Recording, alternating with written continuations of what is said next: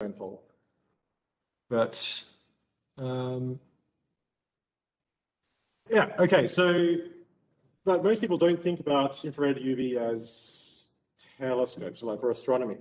So, um, so basically, we're closer to the optical wavelengths of what, what you see with your eyes. Um, so it's infrared. And so as I said, infrared is what you use for your remote control. Um, and also infrared is, so what you feel as heat um, from like a radiator or from a fire or something like this, that is in fact um, infrared radiation. That's light that does this. Um, I said, ultraviolet uh, is what gives you skin cancer. And well, in fact, yeah, infrared is kind of probably seen everywhere. So now these days, if you go to the uh, shopping center and they'll check your temperature and you're like, what's the point of this? um, that's that's infrared. So it's all just just a form of light, and this is really really important to to sort of remember this. Um, and the ozone layer uh, famously blocks UV radiation, and UV radiation is bad for uh, your skin and ultimately for life in general. So don't get too much of it. But it is basically just light, as are X-rays and other and gamma rays, radio and optical light. So as I've said in the previous lectures, your skin is kind of like eyes in a way. It's like um, your skin is infrared sensor, um, and, and that's heat. And we'll talk a bit about that. So we'll start in the first half of the lecture on infrared astronomy. So, so infrared, despite what you might think, is actually the lower energy of the two. So uh, red is lower energy and uh, violet and blue, these colors are higher energy actually. So infrared is, is very, very safe. It's um, actually it's higher energy than 5G. um, and it's basically just heat. So what we experience as heat is um, is infrared. And originally it was called sort of like an invisible light. Um, and this is how William Herschel, so Herschel's a very famous guy. Uh, we'll talk go into a bit of detail about, about him. Um, and sort of it's a very fascinating story how he actually came to discover, quote unquote, infrared light. Um, so in fact, the next few slides are based off a really, really nice article that I found um, in American Scientist uh, by a guy called Jack White. Um, I guess it's not the brother of Jack Black. And, um, and anyway, so it's a really interesting article. I, the, I based my, uh, these slides off, off that in a, in a large way. Um, so let's continue about. So, okay. William Herschel. So he uh, he was German actually.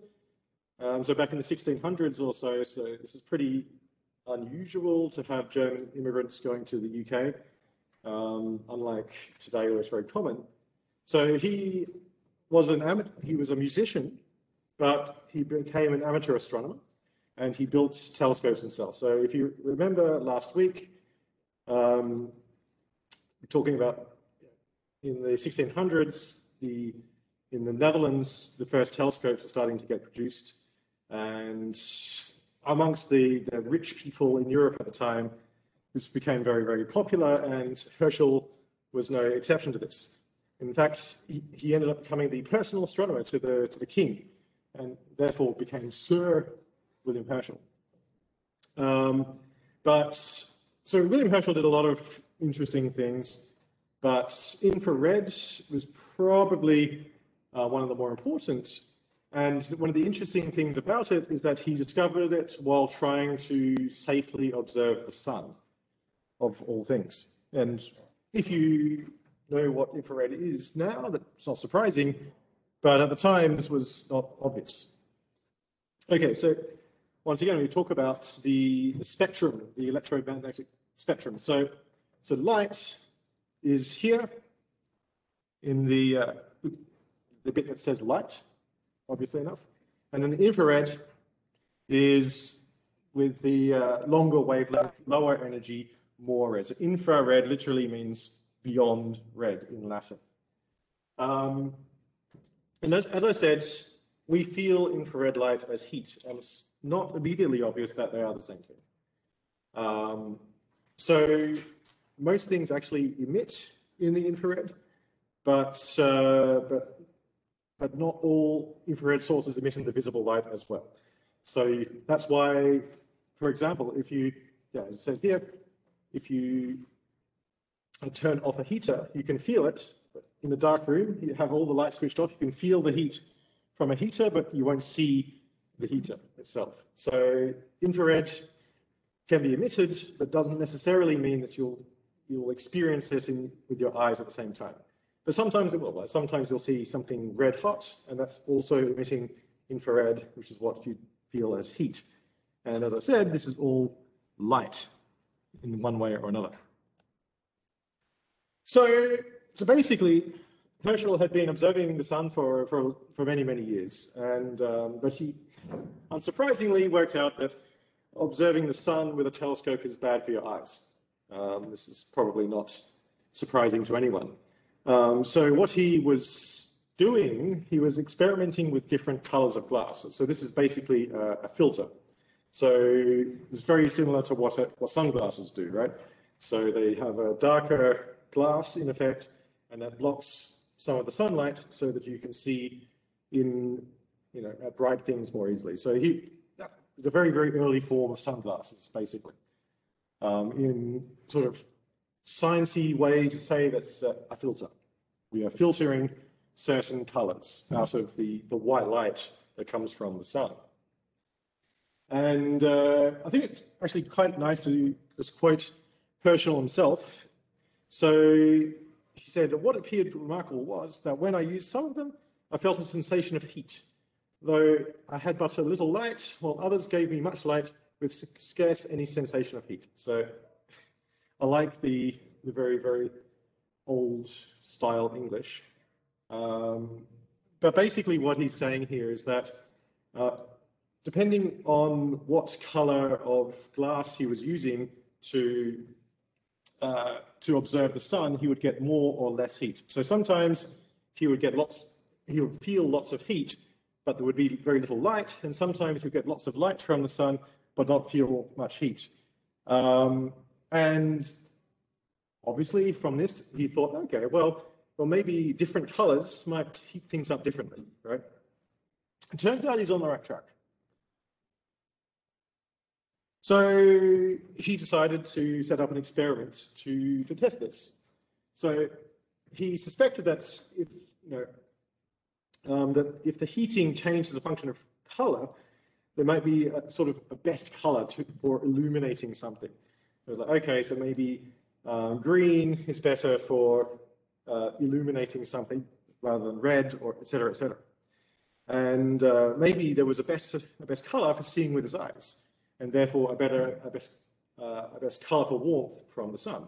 And it turns out um, he's on the right track. He, he made some pretty big mistakes, and we'll talk about that. But the, the general idea of what he was investigating was more or less correct. Um, so nevertheless, he, he, wanted to test his hypothesis. So he built a uh, spectroradiometer, um, which is a really complicated word, but basically what he did, he just, it's a fancy way of saying he set up a prism and then he set up some, some cardboard and he allowed, and he had a slit, so you can see here, um, it only lets uh, a single color through the slit, and then he just measured the temperature um, of that color. So you can see he had his um, had the sun coming, uh, the light coming from the sun, ran it through a prism, and then he just literally measured the the temperature that was measured using just a, a thermometer. Um, and the cool word for do, doing this is called a spectroradiometer. if you want to show off to people with complicated words, you can use that. Um, so yeah, so that's what he was basically doing. In fact, on the right here, you have um, sort of updated version of his original diagram showing what he was doing. So he was methodolo uh, methodically taking uh, temperatures from the various colors. And for each color, he let the thermometer settle for about 10 minutes, and then he would make a reading. So what he found was that red um, was about 8.4 degrees Fahrenheit above room temperature. Green was about 7.5 degrees Fahrenheit above room temperature. And violet, which of course is the highest energy, was only 2 degrees above room temperature. So he had in fact discovered this. So it turned out that the amount of heating does in fact depend on the color that's um, that was coming through from the sun. So if you filtered out the colors, um, you get different amount of heating. And this is actually kind of a cool or warm and important. But then uh, remember he was talking a little bit about illumination, so, so how well you can see things. So he had demonstrated that uh, the heating itself changes as a function of color. Um, but he was wondering, once again, like, is there a color that is best for, seeing things, i.e. illumination?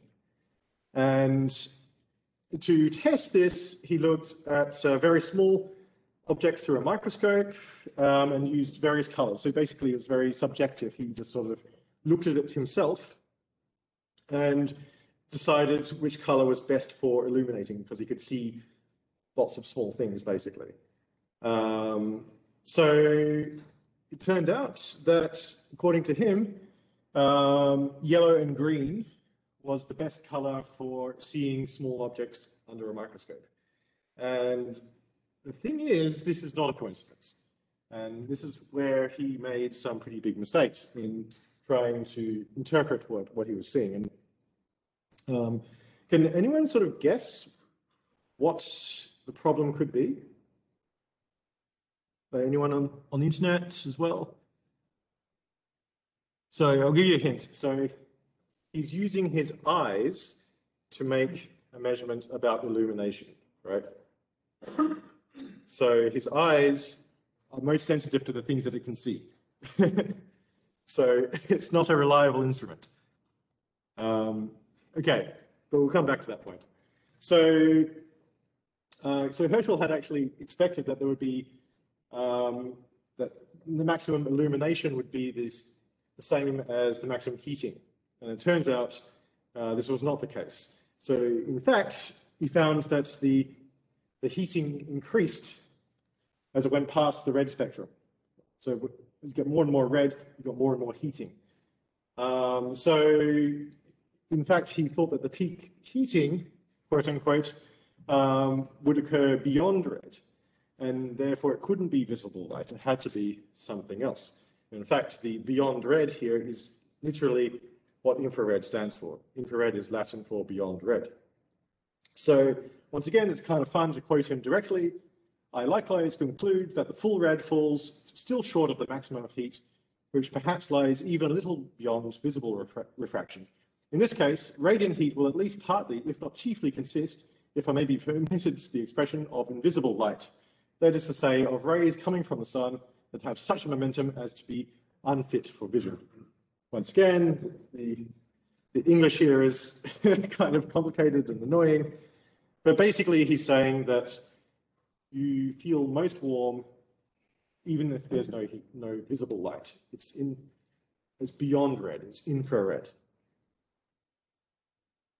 So, so what's causing it? So if you remember from uh, a week ago, we had the chromatic aberration. So basically the, the way that uh, different colors of light gets dispersed through lenses and stuff, causing this sort of blurriness if you observe the moon, for example, like in this case. Um, it's a similar idea. So, so, Herschel, so um, Herschel noticed that this invisible light, quote unquote, was affected by the chromatic aberration that was known to affect telescopes back in those days.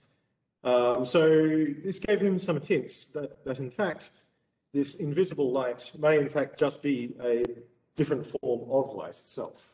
Um, and he wanted to find out. So this is, this is a pretty big hint, right? So the, the fact that the heating was affected by lenses in the same way that uh, optical light or visible light is affected by a prism was uh, kind of important. And he, a big hint that light was a bit more complicated than had been previously thought.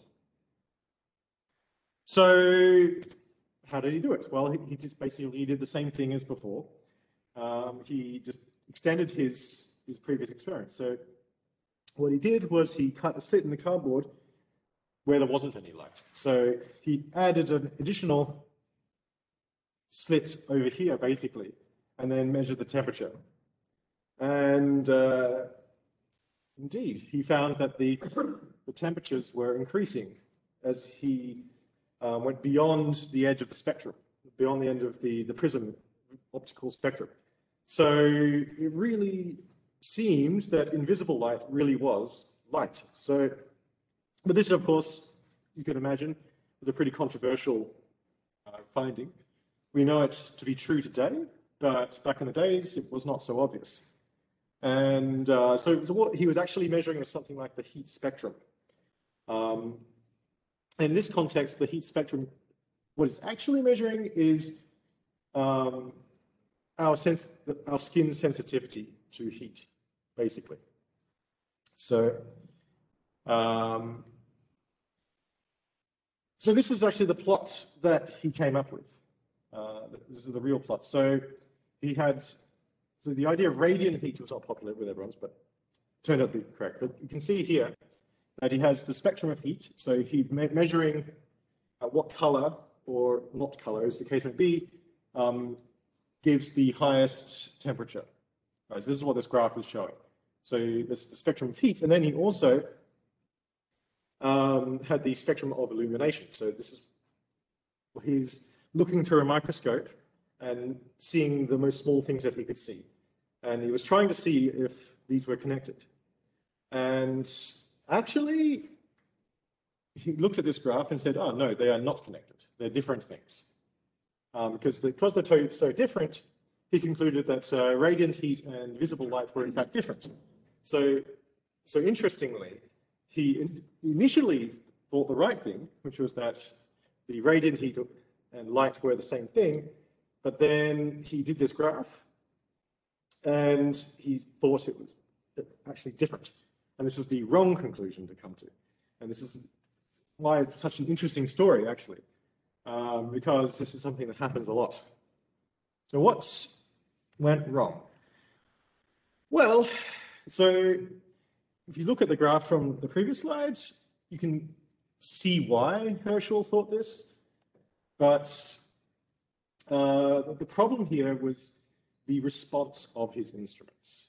And in this case, his instrument was his eyes.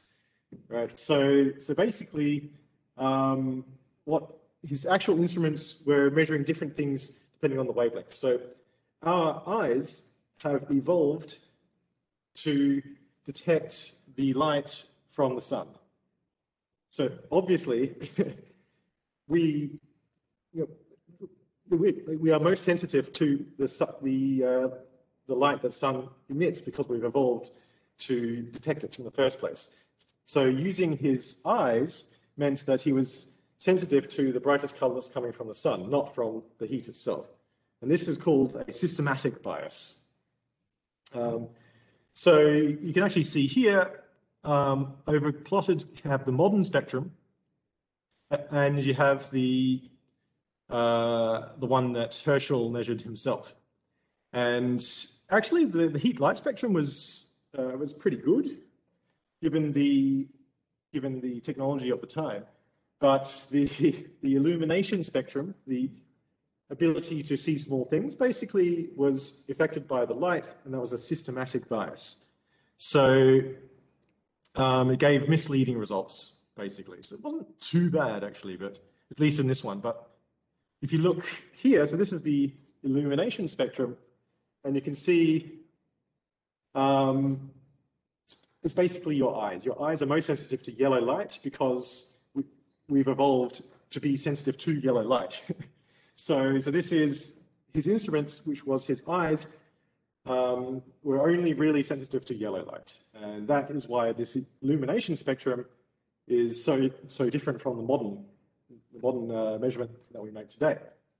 So basically, it's kind of obvious, right? So his eyes do not respond to heat, right? Your skin does, but your eyes don't. And then he was trying to measure uh, heat illumination using his eyes, which couldn't detect it in the first place. So it's, it's a circular logic, and this is and this is exactly the problem. And this is why he thought that they were really different things, but in fact, they were the same thing.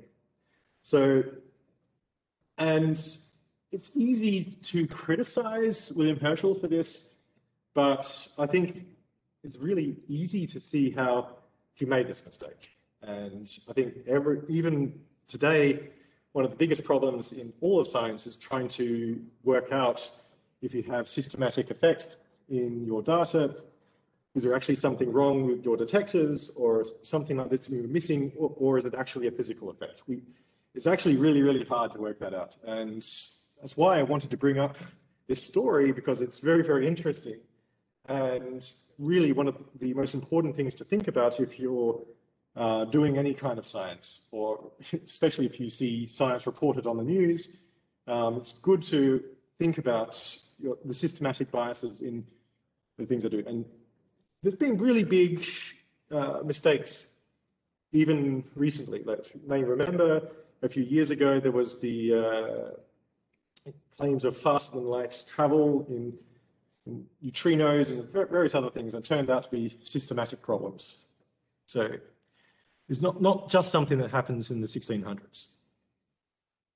So yeah, so you can see here. So in blue, you have the, the modern measurements, and in red, you have uh, William Herschel's measurements. And while the, the heat spectrum is actually not too bad, um, you can see his graphs look really, really different. But if you look at the modern measurements, they look almost identical, right?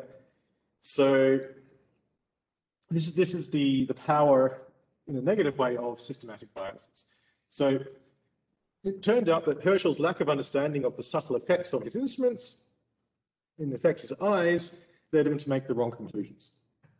But nevertheless, ultimately he proved that infrared radiation is indeed just a form of light. And even though he was ultimately wrong, I think, I think the story of how he managed to be wrong is arguably even more illuminating um, than the, uh, the discovery itself. Um, so I think I thought it's really interesting. If you want to go into more more detail about these sorts of things, the article itself is really really nice. I recommend it.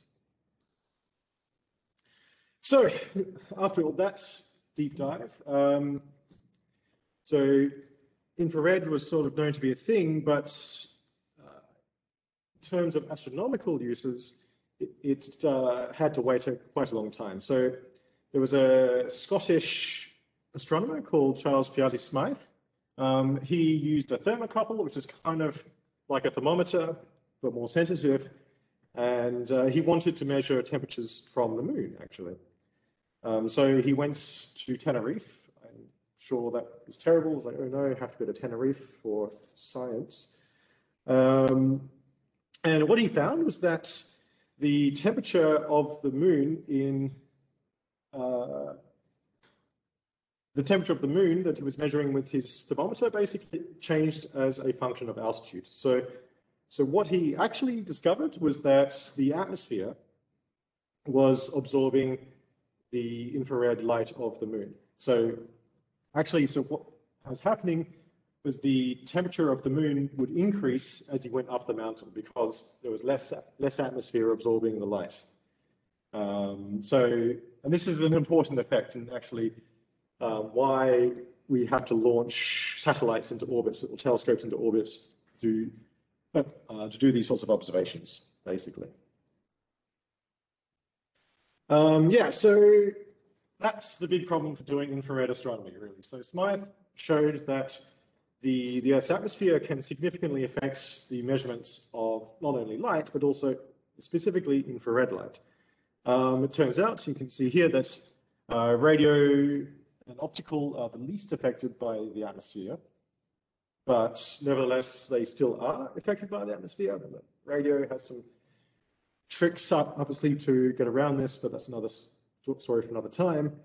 Um, and you can see here, like basically, you either have balloons, uh, but um, or you launch things into space. And this actually um, is the main reason why it wasn't until after World War II that we didn't get astronomy in sort of non-radio or non-optical uh, astronomy. So because we just couldn't see through the atmosphere. So in the in the infrared, um, for for example, it's a bit like having an infrared cloud all over the whole Earth, and this is a problem. Um, so infrared actually isn't the worst for this. So gamma rays and X-rays are the worst, but still um, it's pretty severely affected by, by the atmosphere. And this is why we have the, in fact, the Herschel Infrared Telescope is probably the most famous orbiting telescope for this.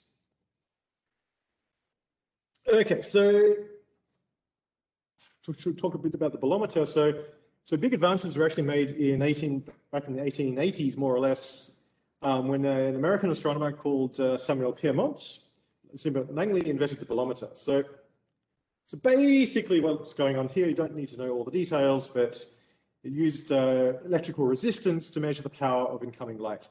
So that meant that it was more sensitive to longer wavelengths. So getting around the, the problem of your eyes being lacking sensitivity as uh, infrared or radio wavelengths and these sorts of things.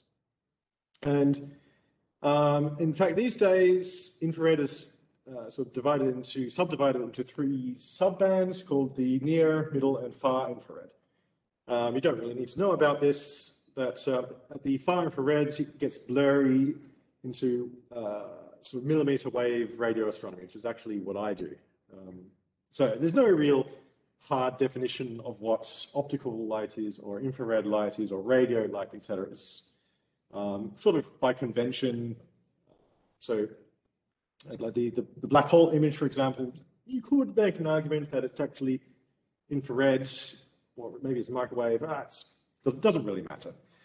It's just, a, it's just a name at the end of the day. So in the early 1900s, so had lots of uh, thermocouples and bolometers.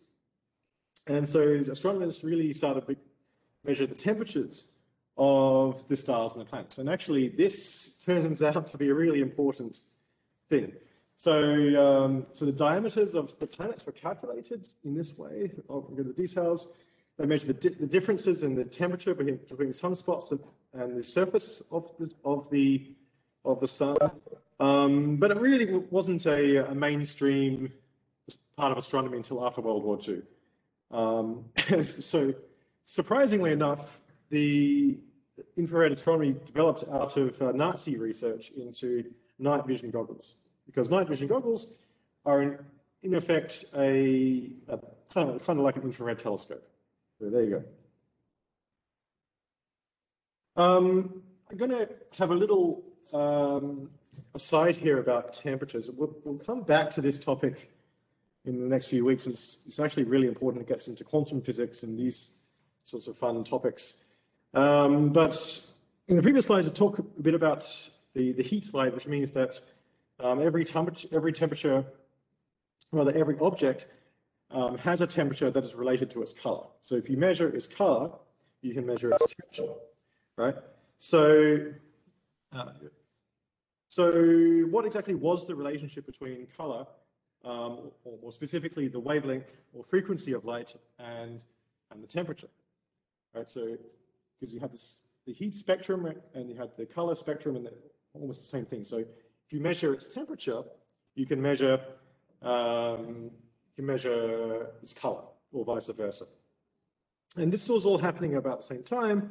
That there were big advancements being made in quantum physics, um, especially by a guy called Max Planck, who you may have heard of.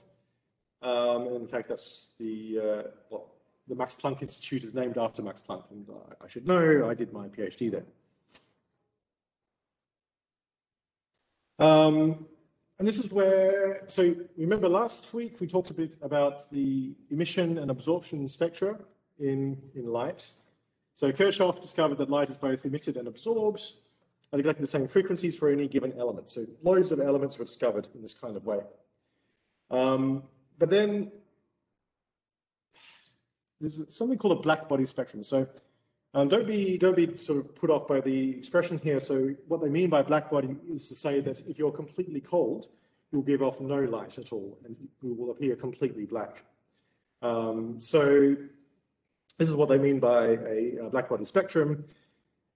Um, actually, so I think the way that it's put here, so the proof I am about to give of the law above stated rests on the supposition that bodies can be imagined which, for infinitely small thickness, completely absorbs all incident rays and neither reflects nor transmits any.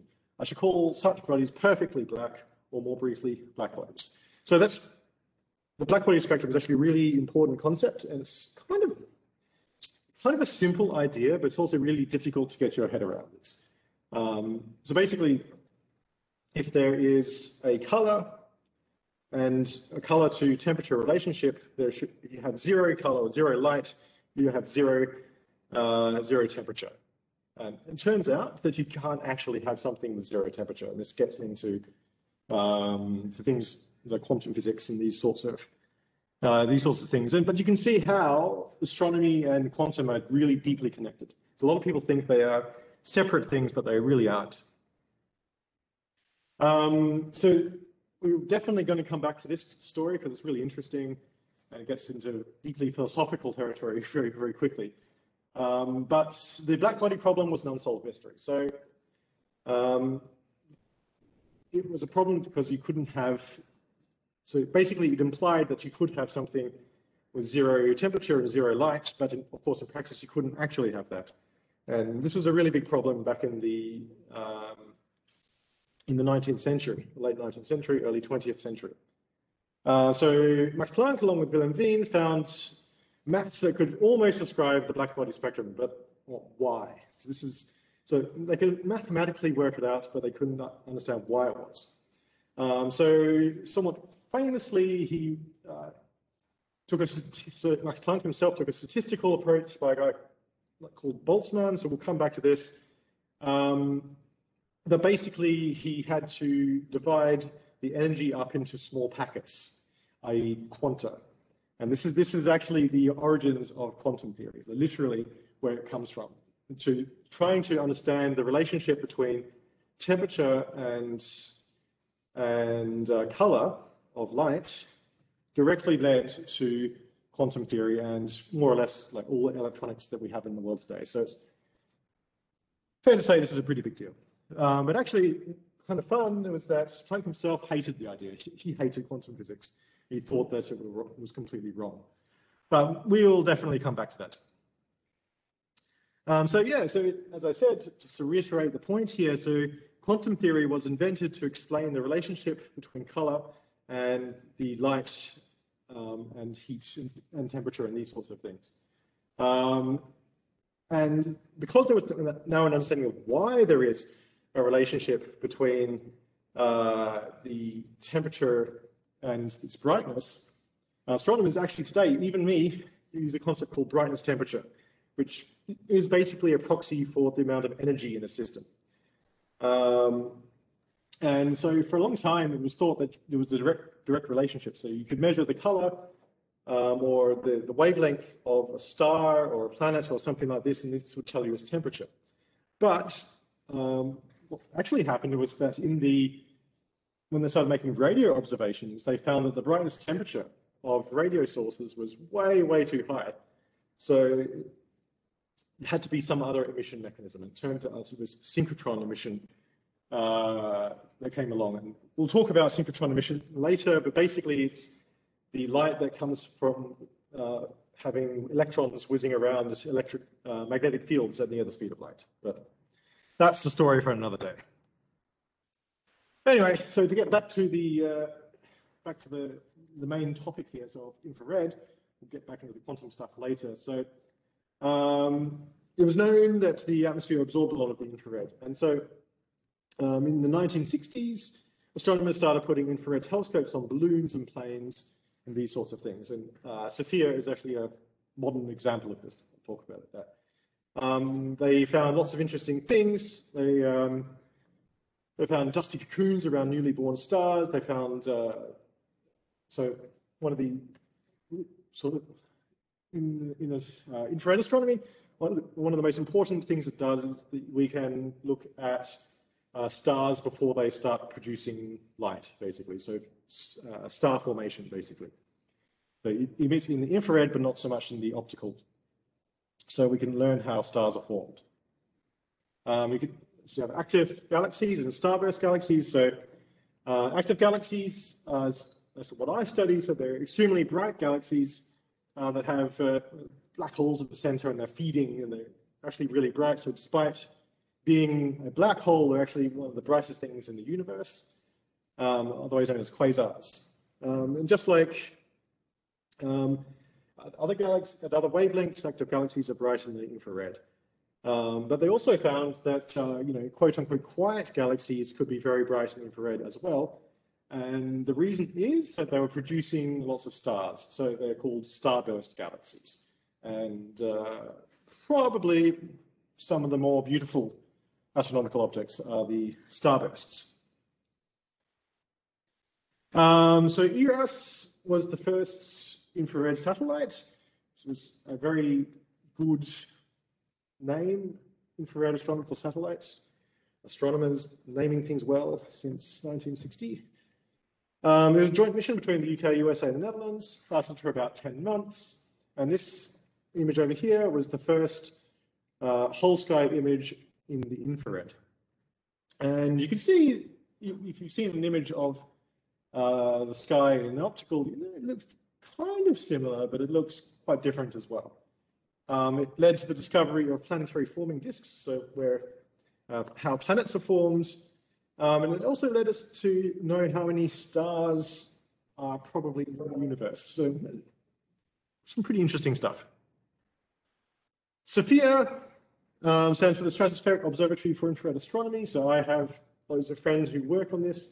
It's pretty cool. They uh, converted a 747 and stuck a telescope in the back of it. Um, it's still operating today. So they literally fly around taking um, taking infrared images of, of things. Uh, it was actually in the news fairly recently because they managed to discover water on the moon using this.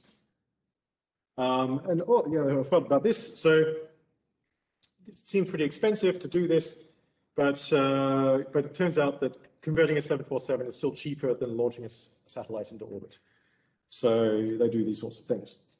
Um, but yeah, so what, one really cool thing that they did was, so Pluto passed between a distant star and the Earth. So, um, so you can imagine a star a long, long way away, and then Pluto passed in front of it.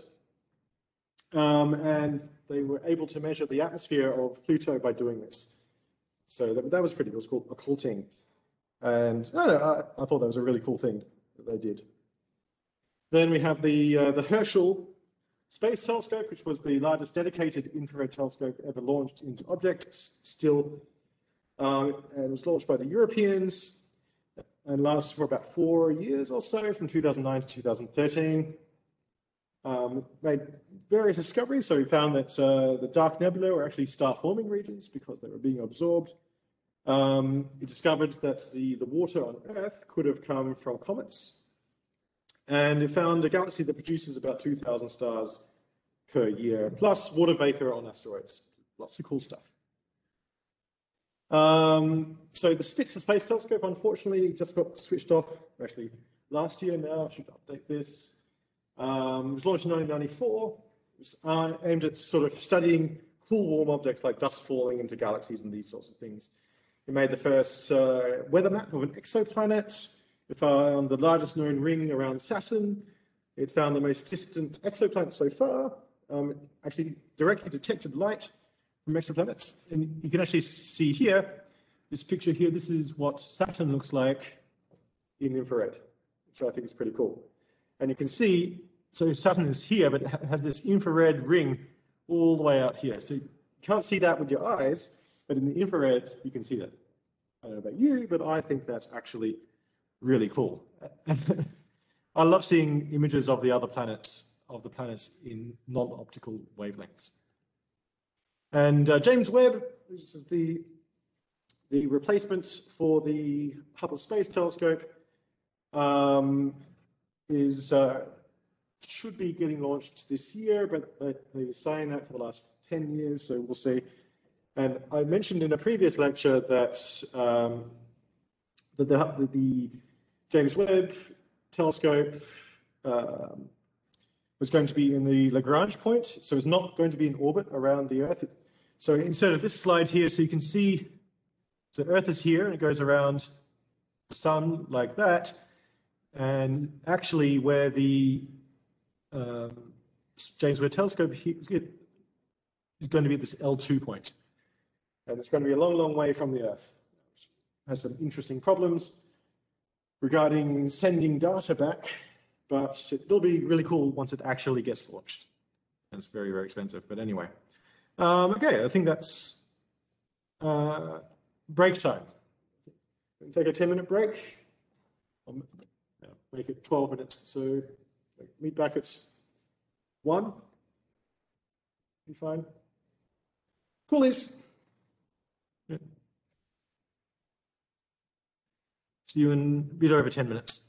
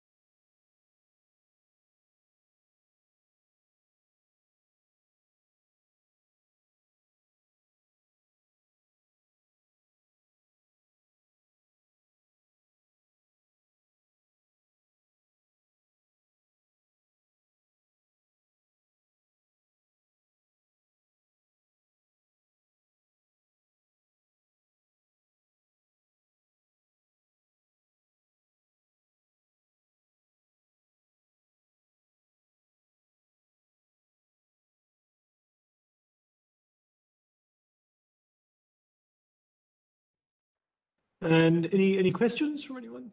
Or-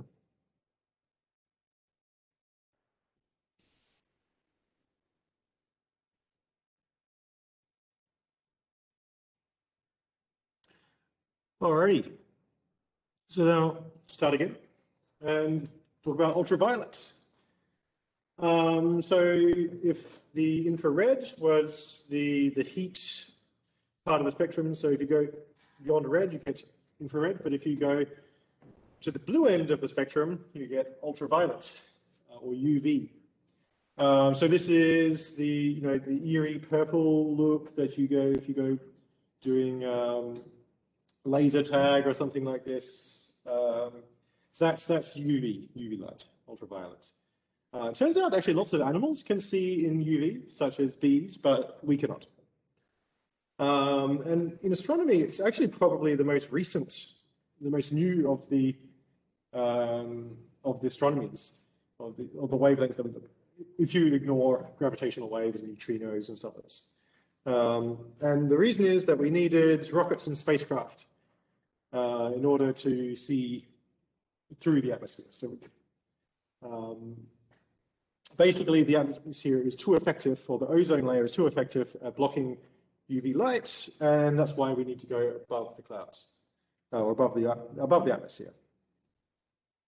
Um, so it was actually kind of difficult to find much, uh, much history of UV. It's fairly unloved as far as things go, as far as wavelengths of light go. Um, but nevertheless, so the first guy to really investigate it was probably a guy called Angelo Sala, who was an Italian doctor and chemist, and he was playing around with a substance called uh, silver nitrate, um, which was at the time used as a laxative and disinfectant, so that's nice. Um, but he found that uh, sunlight turned silver nitrate black. Um, and this sort of gave him the idea that chemical reactions could protect people's health. Turns he was on the right track with that. Um, and um, because the silver nitrate uh, reacts from sunlight, so it turns black when sunlight hits it, it was used um, for early forms of photography. Um, you can sort of see the stuff here. So this is what silver nitrate looks like. And when it sees the sun, it turns black like this. Um, so hard luck Scheele. So Carl Wilhelm Scheele was uh, called Hard Luck Scheele by Isaac Asimov um, because apparently he did lots of cool things made loads of discoveries, but got uh, almost no credit for it. And this was no exception. He found that uh, paper soaked in silver chloride would darken when exposed to sunlight, just like our Italian friend before. Um, but he tried the same experiment, but with light through a uh, through a prism. And what he found was that uh, the light at the blue end or the violet end of the spectrum was more effective at turning the uh, silver chlorides black than at the red end of the spectrum. So he had a lot of intuition here that there might be something interesting going on beyond the blue end of the spectrum. Uh, our good friend Johann Ritter, um, I talked about him um, a few lectures ago in the electromagnetism that uh, he was the guy that gave uh, the idea of putting a magnet near electricity running through a wire, like a current. Um, and he died young and poor, but as I said, I think he did a lot of interesting stuff. It was mostly forgotten. Um, he had actually heard about Herschel's work with infrared, uh, using prisms to see the invisible rays uh, beyond the, the red part of the spectrum, so infrared, right? Um, he thought that he could do the same, but at the blue end of the spectrum, so pretty obvious. And uh, he actually did this, and he actually detected uh, infrared light doing this. But uh, he died young and poor at only 33. So what could have been? Uh, I really want to find more information about this guy. Like he seems uh, sort of tragic, but yeah, I'm not sure. Anyway. Um, so while all, this was going on, a guy called uh, William Wollaston and a guy called Fraunhofer, who you may have heard of, working on the spectrum of light in great detail. Um, they knew that the spectrum had these bands, you know, these absorption dark lines and emission lines we talked about a lot of times. Um, and they knew that this corresponded to different kinds of elements. Uh, so different uh, atoms and you know, molecules and things like this. Uh, so then Maxwell came along, so James Clerk Maxwell came along and set up the theory of electromagnetism. Um, and that was building on the work of Michael Faraday. My, I'm a bit of a fan, fanboy for Michael Faraday. And uh, this led to the researchers making their own UV light making machines, i.e. a UV lamp. So in the late 1800s, people could um, make UV lamps. That was, that was pretty cool. Um, we had these carbon arc lamps like this. So if you've ever seen a Tesla coil like this, making these zaps like this, look kind of purplish color, like lightning also is like this. That's because it's emitting in the uh, UV. So um, that's why it has the cool blue colors like this. Um, so they were not actually being built with the specific aims of making UV light, but just happen to emit in the UV as well as in the visible parts of the spectrum. Um, and so a carbon arc lamp is kind of like a controlled form of a Tesla coil. So if you want to play uh, Tesla coil, it's kind of fun. Um, so actually, it turns out that these carbon arc lamps were the first kind of electric lamp, um, produced long before the classic light bulb. Um, this was the first way to make electric light.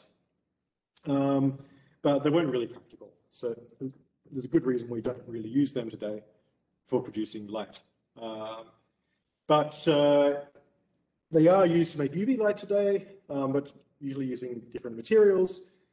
Um, and one of the side things that, that, they do with this is they use UV light to artificially age things faster. So when they're testing materials and products and things, they put them under UV lights to see how they will uh, be in several years after, after use. Some practical applications. Um, in photobiology, so uh, one of the, I think everyone would be familiar with during COVID times, that using UV light to kill microorganisms and these sorts of things. Um, so this was uh, something that was uh, discovered relatively recently and has lots of practical use. And so this is UV light disinfecting, and um, in fact, we use UV light to disinfect water these days. So so in some sense, UV is very, very practical and very, very important because it allowed, allows us to have clean drinking water, uh, relatively easy. No. no, there you go. Um, this is relatively cheap and easy to implement on large scales. And uh, this meant had really, really big implications for public health. Um, and uh, this is over 100 years old, hasn't really changed. Still the same basic technology. UV light kills uh, microbes, basically. Okay, so what about in astronomy? So what about absorption and emission in UV? Well, so a guy called Schumann found that hydrogen emission um, is at about 120 nanometers. So when we say uh, nanometer, we're talking about the wavelength of the light itself. So a nanometer is very, very, very small. And so the uh, so nanometer is like 10 to the minus 9 of a meter. So it's a thousand times smaller than a millimeter. So that's the wavelength of ultraviolet light.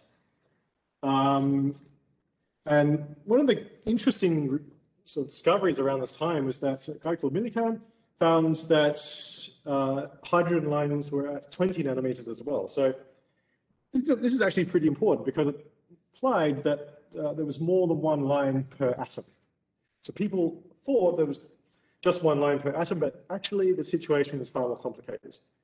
And then uh, a guy called Lyman used a vacuum spectrograph to detect helium at 50 nanometers. And uh, this is where the famous Lyman alpha lines come from. So if you actually do astronomy, Lyman alpha is a tracer for hydrogen, basically. And it's really, really important. And in fact, even here in Sejong, um, some of the professors are experts in Lyman alpha. Uh, not, not me personally, but uh, Hee-Won Lee, for example, does this sort of thing. So, as I mentioned before, it was established there's a relationship between the UV radiation and sunlight. Um, so even back in 1902, a guy called Langley showed that the Earth's atmosphere was reducing UV light by about 40%, and which is good for, for not getting skin cancer, but it's terrible for astronomy. And obviously, everyone should be astronomers instead, more, far more important. Um, so Mitter and Lehman investigated if oxygen was causing new UV absorption.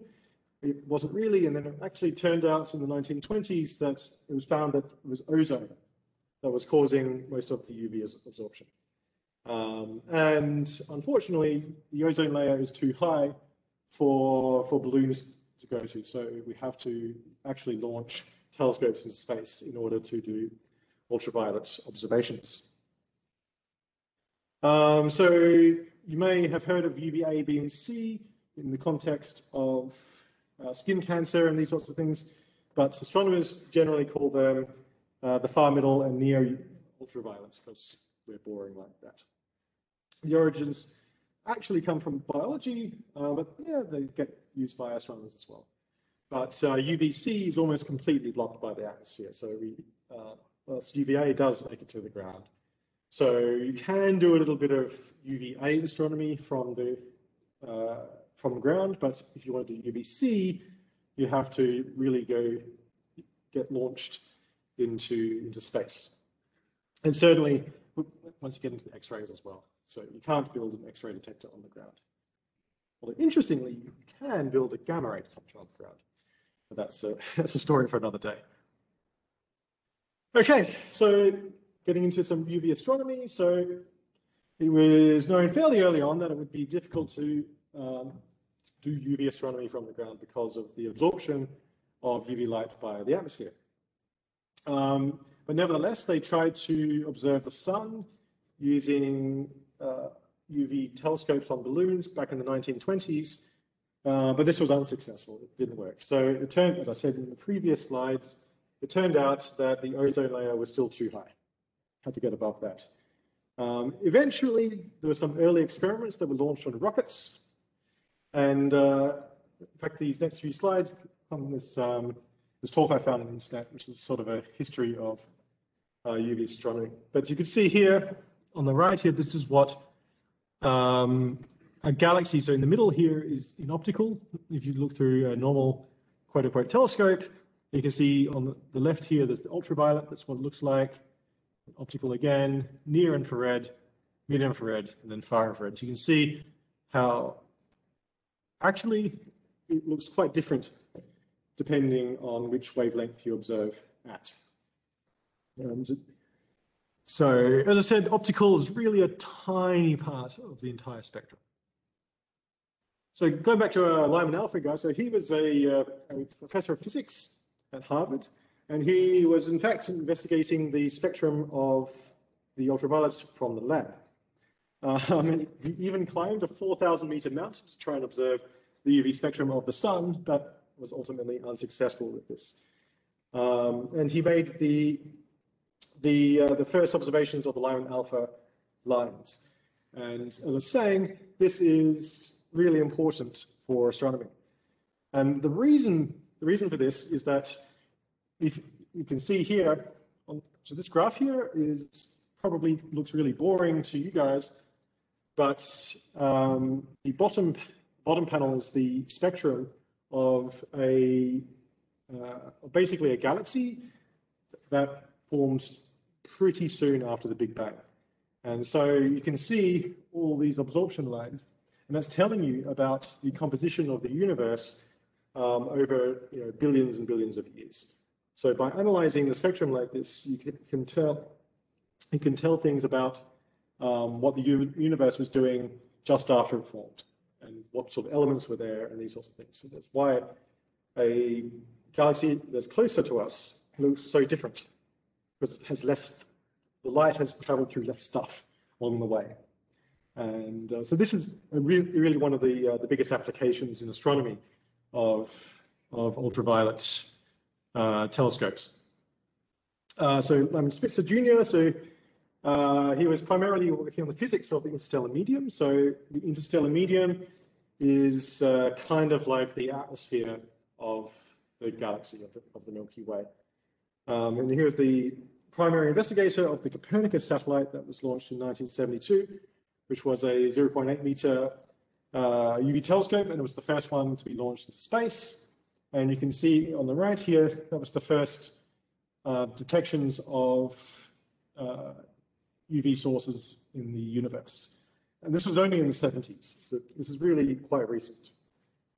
Um, and uh, so, yeah, he actually turned up, he was one of the big people pushed for the Hubble Space Telescope to be to be launched in the first place. So, um, so I think it's kind of cool to think that this is really not ancient. you know, the people who uh, launched the very first UV telescopes and UV satellites are still alive today. Um, it's, it's, only in the last 50 years or so that this has started to happen. So if if you wanted, to you're interested in these sorts of things, I highly recommend getting involved. Um, but actually, the, the first uh, spectrum in the UV was taken by launching them on rockets. So they found that the sun has uh, iron, silicon, and magnesium in it, which is a bit of a surprise. Um, and uh, they suggested that the magnesium in the spectrum could have been caused by an eruption of hydrogen on the sun just before the rocket launch. Uh, it's actually kind of fun, so you can actually look up these papers on the internet if you're interested in them. Surprisingly easy to read if you're a nerd like me and into these sorts of things. Um, so there's more rockets. So 19, meant to be a picture here, but it's gone missing. Uh, so in 1979, another spectrograph was flown on a rocket. Uh, they found hydrogen. Oh, there, oh, there it is. It's the internet being slow. Uh, they found uh, hydrogen, so H2 emissions. So I won't get into what that means. Lyman alpha, carbon, oxygen. So they're finding more and more elements in the sun. Um, this actually turns out to have pretty important implications for, for how the Earth formed and how life, life exists and these sorts of things. Um, and in the end, they launched this instrument onto Skylab, which was a uh, space station that the uh, that the Americans launched in the 70s and famously crashed near where I come from in Australia. Um, then they took the first UV spectrum of a star. So this is what the, the spectrum of a star looks like from a rocket. Um, it looks quite different from other spectra, but also not that different either. And, but the, the important thing I think for you guys to remember is that uh, by looking at this spectrum like this and over the biggest range of frequencies, it means that you can determine what the star is made of. It's a bit more complicated than that, but that's the basic idea. So by looking at this, you can work out what's made of, you can work out how big it is, you can work out how hot it is, and you can work out if it's rotating and doing lots of cool things like that. Um, so as you can see, it's really powerful, um, very powerful technique. Um, this here is the first successful balloon experiment. So as a, a lot of people tried to do this using balloons and failed. And so they took a spectrum, but as you can see, it's uh, kind of looks a bit like noise. It's not, apparently they are measuring something, but it's not very good, to be honest. Um, this is pretty cool. So they actually took a far UV camera to the moon during the Apollo missions and then they took a photo of the Earth in the UV, and this is what it looks like. So, um, so yeah, I think that's pretty cool. So they took a photo of the Earth on the moon, or from the moon, uh, in the UV, and this is what it looks like. So Earth does not look very much like Earth in the ultraviolet. Um, they also did lots of other things uh, took images of nebula like star clusters and even the Large Magellanic Cloud, which um, is a pretty important satellite galaxy of the Milky Way. Um, the first European UV satellite was called Thor Delta 1A. It was used to produce star catalogues using UV observations. It studied cosmic rays, uh, which are these mysterious high energy particles. We'll talk a bit more about that. And also wanted to look at solar gamma rays and things like this. Um, the Soviets, of course, were involved in these sorts of things. So Um, the Orion 1 and Orion 2 telescopes were launched by the Soviet Union um, on the space station Salyut 1. And they actually took the spectra of Vega and Beta Centauri, which are the, uh, the closest stars to the Earth.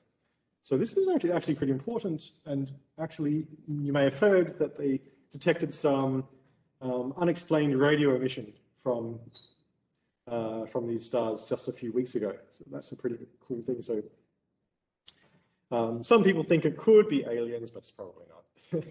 it's never aliens. Uh, but nevertheless, you can see here on the, on the left, that's actually the a photo of the instruments on the Salyut 1 uh, space station. Um, the Dutch also were, were, really big in this. Um, so the Astronomical Netherlands satellite um, was a collaborative effort between the Netherlands and the US. and actually had an X-ray and UV telescope on board. Um, and it's a bit different because it had a orbit. So instead of going around the equator like most things, it actually went um, north-south over the poles in orbit around like this. And what that meant was that it was um, really good at taking pictures of things outside of the galaxy rather than inside of the galaxy because the, the Earth sort of spins around on the same axis, roughly speaking, as the galaxy itself. So by going the other way, you're getting more of a view outside of the galaxy. And that's what it was specialized for doing. Um, so that's what they did. They took the spectra of lots of extragalactic sources, so sources that are not inside our galaxy. So they could be relatively close by. I say only a few million light years away to like actual billions and trillions of kilometers away. Um, and amongst other things, it discovered the existence of very hot stars within the galaxy. So even though it was trying to observe outside of the galaxy, ironically, one of its biggest discoveries was inside the galaxy. And this was the existence of very, very hot stars, much hotter than most people thought could be uh, produced using the physics that we knew at the time. Um, so there was another UV satellite uh, called um, the International Ultraviolet Explorer. And this actually lasted a really long time. So a real workhorse. It lasted for, it was initially designed to last for, for three years, but ended up lasting 18 years. Um, it did uh, the first large-scale studies of, studies of solar winds, um, and it did uh, very accurate measurement of the way that interstellar light, or rather interstellar dust, absorbs into galactic light. So basically, you can uh, look at the dust inside the galaxy, and you can see how it absorbs light from uh, the beginning of the universe, basically. So that was something that they were doing using this telescope, and that's pretty cool. Um, some, some more results from this, they showed that Venus had sulfur monoxide and sulfur dioxide in its atmosphere, and that, that this varied with time. Um, the spectrum of Halley's Comet was taken, um, or the UV spectrum was taken, and it was found that there was uh, 30 million tons of water was being lost from Halley's comet during its passage through the solar system. Uh, it found many white dwarf companion stars, so uh, this is, we'll talk a bit more about what that means later, and uh, had many advances in uh, supernova physics, and this is actually a really interesting topic in and of itself. Um, with active galactic nuclei or quasars, um, you can see, uh, so basically until the IEU, only one quasar had ever been detected in the UV, and that was 3C273, which is a very famous quasar. But you can see here, so on the right here, um, is actually the, the jet of a black hole. So basically, a black hole is feeding and then uh, it starts spewing material out near the speed of light. And this is what these pictures are of. And you can see that it looks really, really different depending on which wavelength. So uh, the top, I think, is actually UV, then it's optical, and then radio at the bottom. And the black hole actually is here on the bottom right. That's where we think the black hole is. But you can see actually the most ener energetic light is coming a long, long way from the black hole. So this is actually a pretty important discovery. Um, yeah, so you could measure the size of a black hole by doing this because of um, things orbiting around it. You can measure this. And we found that, uh, uh, that there was far fewer hydrogen clouds in the near universe than the faraway universe. So it turns out that these, in the early universe, the clouds of hydrogen formed the early galaxies. This is how we think galaxies form. Um, Astron, which is another Soviet satellite, it was actually the largest uh, UV satellite of its times. It took uh, spectral observations of more than 100 stars, 30 galaxies, and several nebulas and comets. It also took observations of Halley's Comet and provided data that would go into the models of how to predict what uh, Halley's Comet will do. And it determined, amongst other things, that Halley's Comet should last for another 30,000 years. Um, and you, over here, you can actually see these are the actual observations. This is what the spectrum of Comet Halley looks like um, from a Soviet spacecraft. Um, one of the one of the really important uses uh, of ultraviolet astronomy is observing the sun. And you can see, the sun looks pretty different in the UV compared to the optical. And uh, so what they really want to look at is these things called coronal mass ejections. And the reason they want to look at this is because if one of these coronal mass ejections goes off and hits the Earth, all of our electronics are fried. So this is actually a really important topic, and we'll go into a bit more detail about this. Um, and cool, and that's basically it. So there's lots, lot to bring in on this particular lecture. Um, so remember like systematics. So um, what you're using to make the measurements can be biased if it's not constructed properly or like your eyes. So remember about how William Herschel made, made, he made the wrong conclusions because he trusted his eyes when he shouldn't have trusted his eyes, basically. And also, you know, look at the different wavelengths. The, the universe and everything looks very, very different depending on uh, which wavelength or uh, color of light, if you prefer, you're observing it. And yeah, that's that. So thanks a lot. Any questions? Mm -hmm. Mm -hmm. Uh, we can't, basically. Ah, yeah, that's a good question, actually. So I, I guess that what's happening, I'm not sure, but I think is that the UV gets absorbed by the material and then re-emitted at a different frequency that we can that we can see. So, so I, I guess that's what's happening. I don't know for sure, but yeah, like specific frequencies kind of get absorbed, cause some electrons to uh, jump up in the atom and then emit at specific frequencies. So I guess that's what's happening. Um, so yeah, so UV light will come in, cause electron to bump up, and emit emit some light that our eyes can detect. I think. I, might look that up actually and confirm if, if that's the that's the that's the correct story. Any other questions from anyone on the uh, in WebEx? No worries. Cool.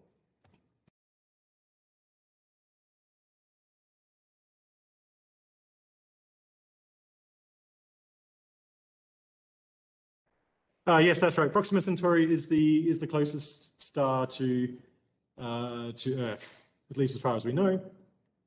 Um, but actually, it's a, uh, have to remember, so, uh, so there's Alpha Centauri, Beta Centauri, and Proxima Centauri. So I think it's a triple system from memory. Um, I think Proxima is actually the closest, and then Alpha, then Beta. I, but I'm not sure about that. I'd have to, I'd have to look it up. I'm fairly sure Proxima Centauri is the closest star to Earth, but um, we're not sure about Alpha and Beta Centauri. Yeah. Sorry, I can't give you a better answer there.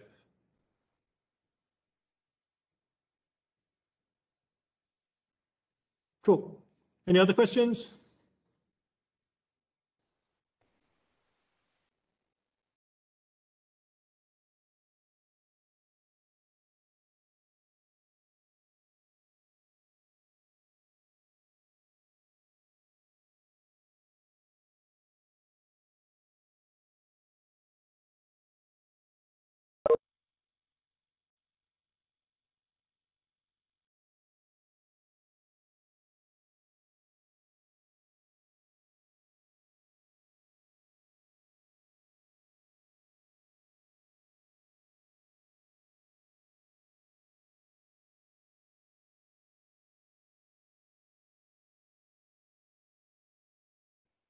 Yeah, you're right about Beta, Beta, Beta Centauri. So it's, yeah, even I for a long time thought that Alpha Centauri was closest because it's called Alpha, but it's just because it's the brightest, not the